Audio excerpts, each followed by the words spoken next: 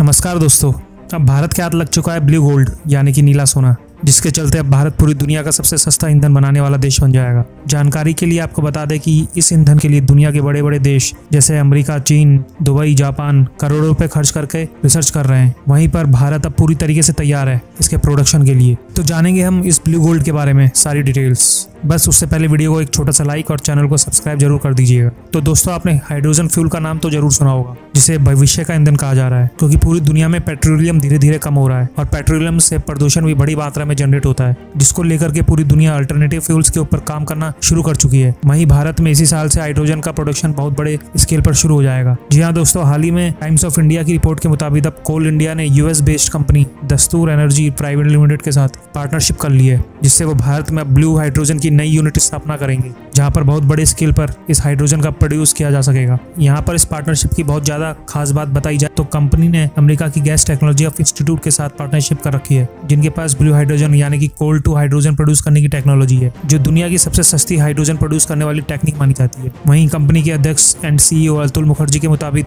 उन्होंने इस बात को क्लियर कर दिया है कि हाइड्रोजन प्राप्त करने के लिए कोयला सबसे सस्ता विकल्प है, जहाँ पर एक किलोग्राम हाइड्रोजन की लागत लगभग चार सौ होती है। पैदा किए गए हाइड्रोजन की कीमत सिर्फ़ एक पीएस होती है, और ये भारत में पेट्रोल निर्भरता को कम करने के लिए और आत्मनिर्भर भारत बनाने के लिए सबसे बड़ा मौका भारत के हाथ लगा है, जिसके चलते इसी साल से यूनिट के ऊपर काम शुरू हो जाएगा, और कंपनी सिर्फ़ यही नहीं रुकने वाली है। बल्कि कंपनी ने जीएसपीएल और डालमिया सीमेंट के साथ भी पार्टनरशिप करने की तैयारी कर ली है। जहाँ पर कोयला गैसीकरण मैथनॉल डेरिवेटिव और कार्बन डाइऑक्साइड से मैथनॉल का प्रोडक्शन करने के लिए भी काम करेगी। ये सब अल्टरनेटिव हैं जो पेट्रोलियम को रिप्लेस करने वाले हैं। और हम सभी इस बात को जानते हैं कि भारत पेट्रोलियम के साथ साथ नेचुरल गैस पर भी निर्भर है। दुनिया के अलग अलग देशों पर और अब ऐसे ट्रेंडी फ्यूल्स ही इस निर्भरता को पूरी तरीके से खत्म कर सकते हैं। वही रिपोर्ट्स के मुताबिक कोयले के अलावा बाँस और चावल की भूसी से भी हाइड्रोजन को आसानी से प्रोड्यूस किया जा सकता है।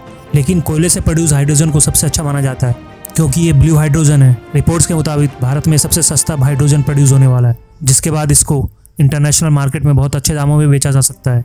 आईआईटी के कुछ वैज्ञानिकों ने हाइड्रोजन को प्रोड्यूस करने वाले इलेक्ट्रोलाइजर में मैग्नेटिक फ़ील्ड के ज़रिए इसके प्रोसेस को काफ़ी ज़्यादा तेज कर दिया था, जिससे कम समय में ज़्यादा से ज़्यादा हाइड्रोजन को प्रोड्यूस किया जा सके। वहीं कुछ समय पहले आई में एक और रिसर्च की गई थी, जहाँ पर सी वाटर यानी कि समुद्र के पानी से हाइड्रोजन को प्रोड्यूस किया गया था। तो ऐसी बहुत सारी टेक्नोलॉजी भारत में अवेलेबल है, जिनके ऊपर बड़े काम होने बाकी हैं। लेकिन कोल इंडिया की इस पार्टनरशिप से अब भारत के अंदर ब्लू हाइड्रोजन का प्रोडक्शन बड़ी स्केल पर होना शुरू हो जाएगा। इसका इस्तेमाल भारत में आने वाली अशोक लीलैंड और टाटा मोटर्स की hydrogen fuel cell based buses में आसानी से किया जा सकेगा, जो ट्रांसपोर्टेशन का एक बहुत ही ज़्यादा क्लीन और सस्ता साधन माना जाएगा। तो कोल इंडिया की इस पार्टनरशिप के बारे में आपकी क्या राय है? अपनी राय कमेंट बॉक्स में ज़रूर लिखिएगा। भारत के ऐसे ही यूजफुल और इन्फॉर्मेटिव वीडियोस पाने के लिए हमारे यूट्यूब चैनल को सब्सक्राइब ज़रूर कर लीजिए।